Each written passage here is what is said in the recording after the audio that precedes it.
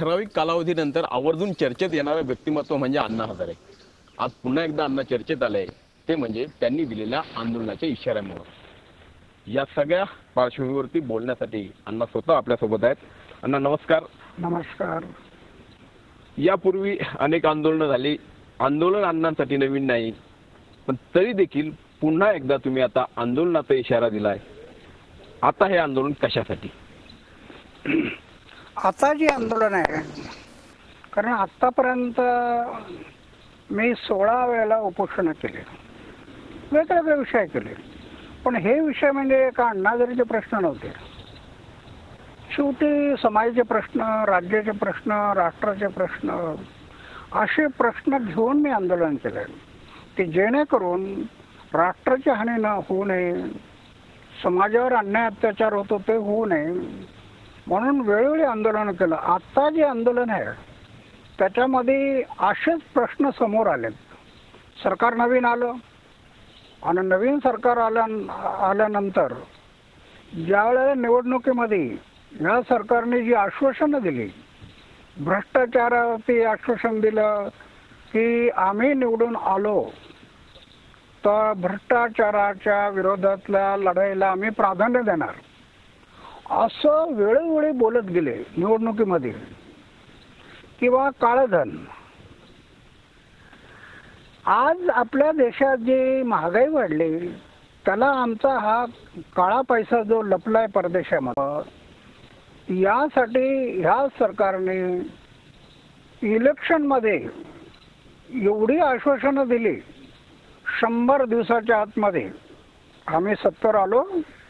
तर शंभर दिवसाच्या आतमध्ये हा काळा पैसा आम्ही परत आणू. आणि एवढंच नाही. तर हा पैसा परत आल्यानंतर प्रत्येक माणसांच्या बँक अकाउंटमध्ये पंधरा लाख रुपये जमा करणार. आणि सामान्य माणूस भारावून गेला. पंधरा लाख रुपये आपल्या अकाउंटमध्ये जमा होतात. डोळे झाकून मतदान केलं ना. आणि आता आठ महिने झाले ते पंधरा लाख सोडा. पंधरा हजार सुद्धा जमा नाही एक तुम्ही आश्वासन दिले भ्रष्टाचाराच्या बाबतीत. ते पालन करत नाही. काळ्या पैशाचे आश्वासन दिलेत. लोकपालाबद्दलही तुम्ही बोललात. आता लोकपालाचा कायदा आला. लोक आयुक्ताचा कायदा आला. हा लोकपाल आणि लोकायुक्त. ह्या कायद्यांची अंमलबजावणी झाली. तर कमीत कमी पन्नास टक्क्यापर्यंत भ्रष्टाचाराला आळा बसेल. आता तुम्ही आश्वासनं दिलेत सत्तर आल्यानंतर कायदा झाला ना? हा कायदा झाला संसदेमध्ये कायदा पास झाला. राष्ट्रपतीची सही झाली. आणि कायदे होऊन सरकारच त्याचं पालन करत नसेल तर सर कायदे कोणासाठी मग? फक्त झोपडमाटीमध्ये राहणाऱ्या लोकांना? कायदा सर्व सर्वोच्च न्यायव्यवस्था आहे आमच्या देशामध्ये. आमच्या देशातली सर्वोच्च व्यवस्था आहे ती न्यायव्यवस्था आहे. हा देश कायद्याच्या आधाराने चाललेला देश आहे. आणि कायदा म्हणतो की ती तीनशे पासष्ट दिवसाच्या आतमध्ये लोक आयुक्त प्रत्येक राज्यात नेमणं आवश्यक आहे. लोकपाल एक वर्षात त्याची अंमलबजावणी करणं आवश्यक आहे. आणि तीनशे पासष्ट दिवस मागच्या एक तारखेलाच झाले. अजून कारवाई करत नाही. हे दोन प्रश्न. तिसरा आहे की आता तुमचं भूमी अधिग्रहण बिल. आज शेतकरी आत्महत्या करतात अनेक वर्ष. पण हे भूमी अधिग्रहण बिल जर आलं तर शेतकऱ्यांच्या आत्महत्या आणखी वाढतील. हे शेतकऱ्यावरती अन्याय करणारं बिल आहे. एक उदाहरण तुम्हाला सांगतो. एक कायदा जो झालेला आहे भूमी अधिग्रहणचा की बाहेरच्या कुठल्याही कंपन्या आमच्या देशात येतात. कंपन्या उभ्या करायला जागा असावी लागते. मग सरकार ते जागा अक्वायर करेल शेतकऱ्यांच्या आणि त्या येणाऱ्या कंपन्यांना ती जागा देईल. त्याला शेतकऱ्यांना विरोध करता येणार नाही. असा कायदा होता. पूर्वी पूर्वीचा. जर विरोध केला तर दंडे चालवायचे. काही ठिकाणी गोळ्या सुद्धा चालवल्या. बरोबर. पण त्या कायद्यात एक तरतूद होती. की पाच वर्षात त्या जमिनीवरती कंपनी उभी नाही झाली तर त्या जमिनी शेतकऱ्यांना परत द्यायच्या बरं आता हे भूमी अधिग्रहण बिल येत आहे त्याच्यामध्ये यांनी ते काढून टाकलं बरं. म्हणजे पाच वर्षात कंपनी जरी नाही स्थापन झाली तिथे. तरी जमीन शेतकऱ्यांना परत द्यायची नाही. बरोबर. ते सरकार आपल्याकडे ठेवेल. आणि कशासाठी वापरेल मग? तर जसं या कारखाने जे येतात यांना जमीन देणं आवश्यक आहे. तसं ह्या अधिग्रहण भूमी अधिग्रहण बिलामध्ये शिक्षण क्षेत्रात काम करणाऱ्या लोक आहेत.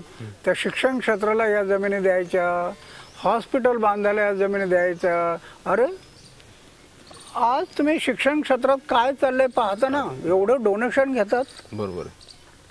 आणि तुम्ही शेतकऱ्यांच्या जमिनी घेऊन अशा लोकांना देणार याचा स्पष्ट अर्थ आहे की तुम्ही आपल्या कार्यकर्त्यांची ही सोय करण्याचा प्रयत्न आहे. म्हणून आता आंदोलन करायचं ते तीन चार मुद्द्यावरती बरोबर आहे. अण्णा तुम्ही आंदोलन करताय आणि त्याचा इशाराही तुम्ही दिलाय.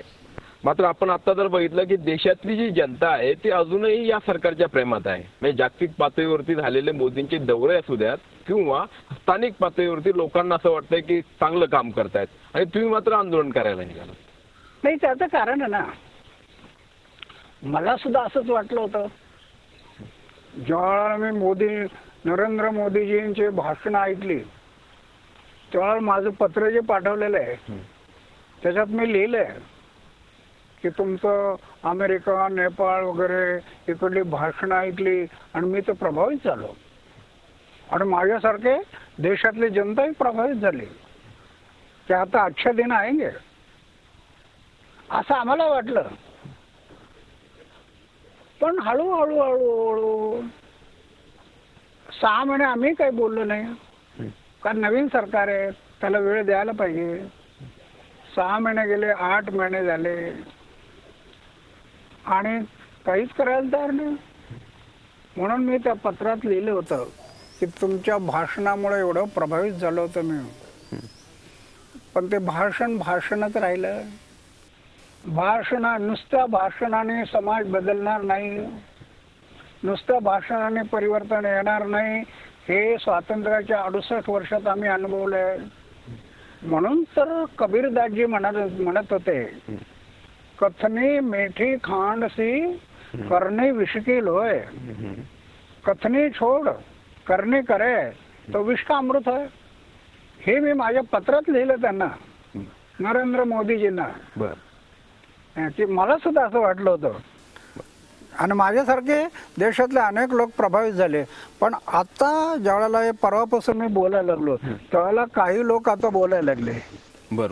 की तुम्ही जे पाऊल उचललं ते योग्य उचललं की आठ महिन्यात काहीच होत नाही. म्हणजे- हळूहळू बोलायला लागले. हे हे काही लोक कोण आहेत? म्हणजे माझा प्रश्न असा आहे की यापूर्वी जे आम्ही तुमचं आंदोलन पाहिलं ते एक टीम अण्णा होती ते काही लोक होते तुम्ही एकत्र येऊन हे सगळं आंदोलन केलं होतं. यावेळी तुमच्या आंदोलनाचं स्वरूप नेमकं काय असणार आहे? तुम्ही पुन्हा आमरण उपोषणाला बसणार आहात पुन्हा दिल्लीत बसणार आहात आणि तुमचे सहकारी कोण असणार आहे? आणि आंदोलन कधीपासून आहे काय की आमच्या टीम मधले लोक दहा बारा पंधरा वीस काय असतील ते. टीम मधले लोक जरी बाजूला झाले तरी सोळा ऑगस्ट दोन हजार अकरा करोड लोक रस्त्यावर उतरले होते ना. ते अजूनही ते आंदोलन विसरलेले नाहीत. मी आता बाहेर फिरतो आता परवा चार दिवस मी कर्नाटकमध्ये होतो. एवढा लोकांचा रिस्पॉन्स लोकांना माहीत पडत होतं का अण्णा या रस्त्याने जाणार आहे तर लोक गावाच्या बाहेर तिथं जमत होते. तर हे त्या आंदोलनाचा प्रभाव आहे. तो अजूनही लोकांच्या मनावर आहे. म्हणून उद्या जर आंदोलन सुरू झालं ते दहा पंधरा लोक जरी बाजूला गेले तरी लाखो लोक त्यांच्या मनावर मध्ये हे जो परिणाम झालेला आहे आंदोलनाचा असे लोक आज बी या आंदोलनाशी जोडले जाते आता मी लवकरच बाहेर पडून अशा काही निवडक लोकांचा शोध शोध. म्हणजे आता जे बोलायला लागलेत लोक. आता दोन दिवसात अनेक फोन यायला लागले. की तुम्ही चांगलं पाऊल उचललं. आम्ही तुमच्या बरोबर आहेत. आपण हे काम पुढे नेऊया. असं बोलायला लागले.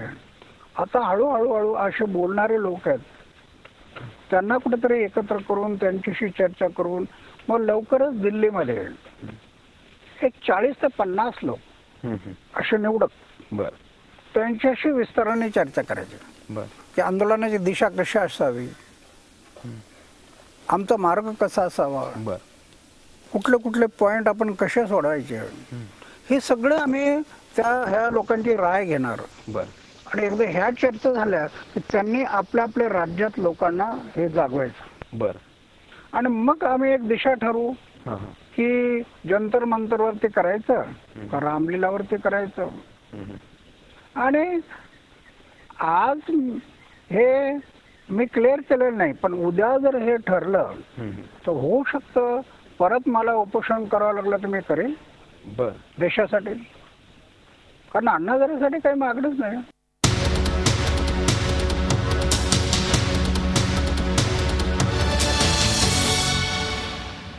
अण्णा तुम्ही आंदोलनाचा निर्णय घेतला आणि त्यांनी स्वाभाविकपणे खळबळ उडाली आहे. मात्र जसं तुम्ही आता म्हटलात की दोन दिवसापासून मी या संदर्भात बोलायला लागलोय. आणि नेमकं या टायमिंग बद्दलच काही प्रश्न उपस्थित केले जातात. की अण्णा जे आहेत ते अगदी आता दिल्ली निवडणुका तोंडावर आहेत आणि त्यावेळी अण्णांनी आता आंदोलनाची भाषा सुरू केली आहे. पण त्या दिल्ली आंदोलनाचा आणि आमचा काही संबंध नाही. मी आतापर्यंत जेवढी आंदोलनं केलीत. ही सर्व पक्ष आणि पार्ट्यांच्या विरहित केलेले आहे. एवढंच नाही. तर आमची आतापर्यंत एवढी आंदोलनं झालीत पण पक्ष आणि पार्टीच्या लोकांना आमच्या स्टेजवरती आम्ही कधी बसू दिलेलं नाही. आत्ता सुद्धा ह्या आंदोलनामध्ये काही लोक बोलायला लागलेत की ह्या आंदोलनात आम्ही पण सहभागी होऊ. आम्ही त्यांना स्पष्ट सांगितलं पक्ष आणि पार्टीच्या लोकांना आमच्या स्टेजवरती येता येणार नाही. तुम्ही स्वतंत्र करा. पण आमच्या आंदोलनात तुम्हाला येता येणार नाही. तर आम्हाला पक्ष पार्टीचे काही संबंध नाही. अण्णा तुम्ही एवढं का बरं? म्हणजे परवा देखील तुम्ही राजकारण हे गटार आहे किंवा एक एक प्रकारची तिकडे जाण्याची किंवा तिकडे जाऊ नये अशाच आशयाचं तुम्ही बोललात. काय नेमकं कारण आहे की तुम्ही याविषयी बोलत नाही आहात?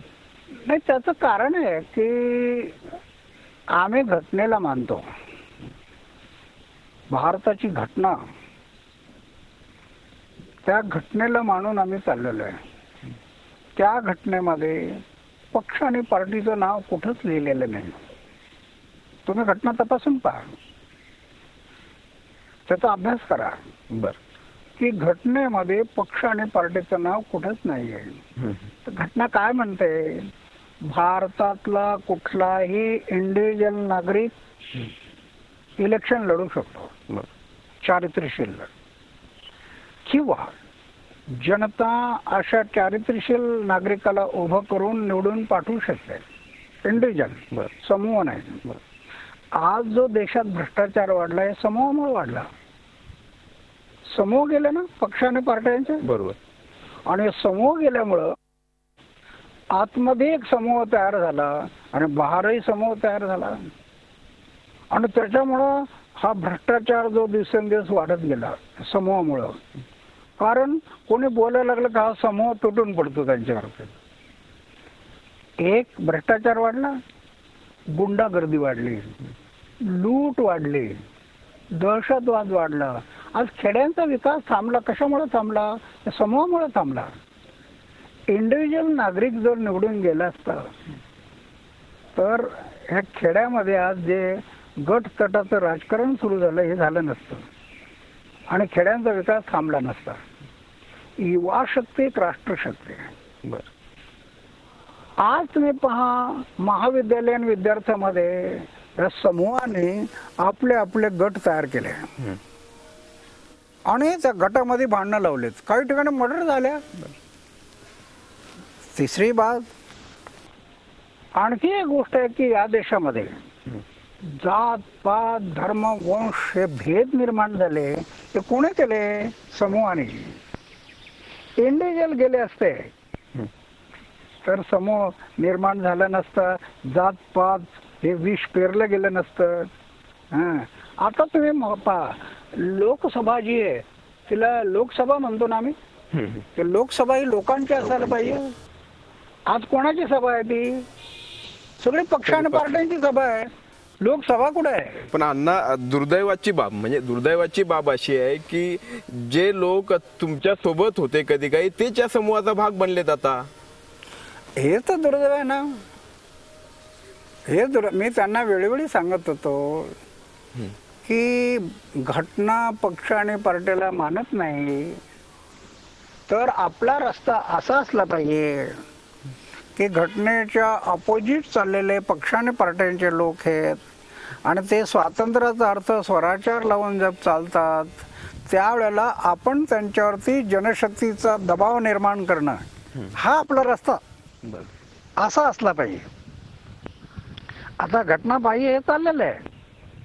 आणि तुमचा निवडणूक आयोग जो आहे त्याने कानावर हात ठेवले तो म्हणतो की आता आम्ही काही करू शकत नाही त्याला एवढी वर्ष झालेत.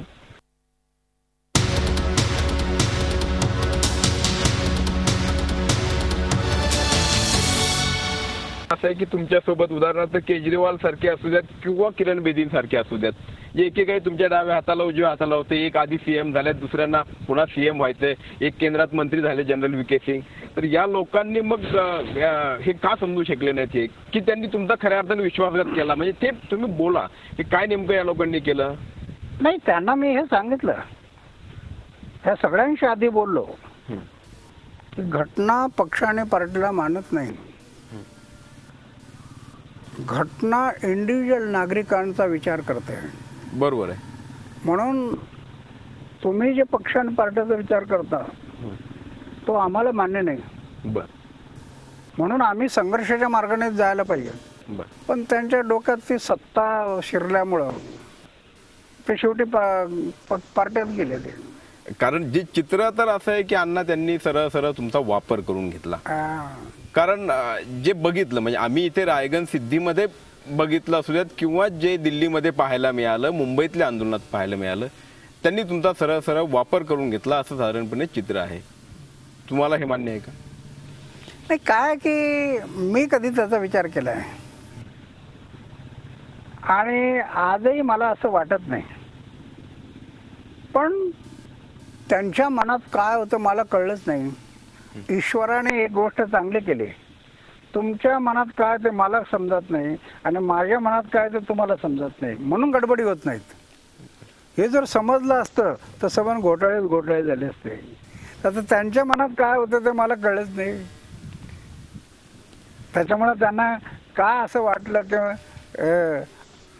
असं करावं की अण्णांना सोडून पक्षाने पार्ट्यात जावं? आज देखील दिल्लीच्या निवडणुकीत तुमच्या या नावाची चर्चा होते. म्हणजे अगदी आजच्या जाहिरातीमध्ये एका भाजपाच्या एका जाहिरातीमध्ये तुमचा फोटो दाखवलाय. त्या फोटोला म्हणजे अर्थात ते व्यंगचित्र आहे तर त्याला हार देखील घातला गेलाय. तुमच्याशिवाय निवडणुकीत जणू काही घडत नाही असं आहे. तुम्ही त्या प्रक्रियेचे एवढे अविभाज्य भाग बनलेला आहात की तिथे तुमच्या नावाचा हा वापर होतोच होतोय. आपण ते मलाही कधी जाणवत नाही मी त्याचा कधी विचार करत नाही. ज्यांचं करतो त्यांच्या संघातील हे खुर्ची आहे ना ह्या खुर्चीचा गुणधर्मच असा आहे की खुर्चीत बसला की बुद्धीचा पालट होतो. तर पुढं काय होईल कसं होईल मला माहीत नाही. म्हणून आज हे सांगणं फार अवघड आहे. फक्त मी एवढाच विचार करतो. हे दोनों कार्य दोन्ही कार्यकर्ते आपल्या आंदोलनाचे कार्यकर्ते आहेत. आता या दोघांपैकी एक तर निवडून येणारच आहे. मग आंदोलनाचा कार्यकर्ता मुख्यमंत्री झाला तर चांगलं समाधान आहे आपल्याला?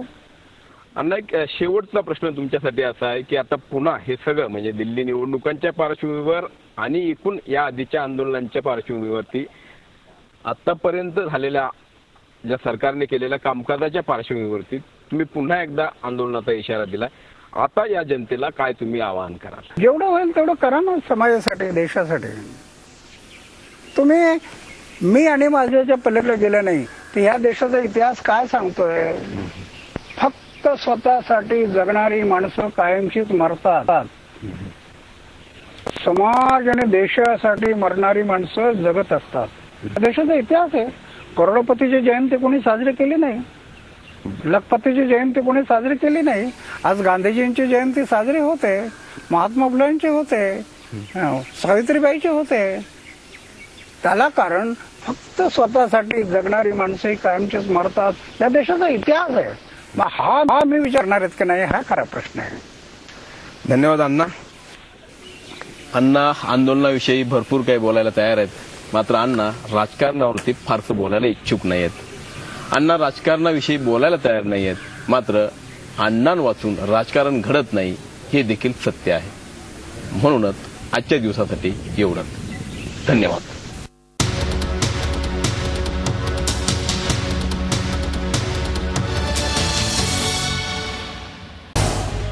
झी चोवीस तास. रहा एक पाऊल पुढे.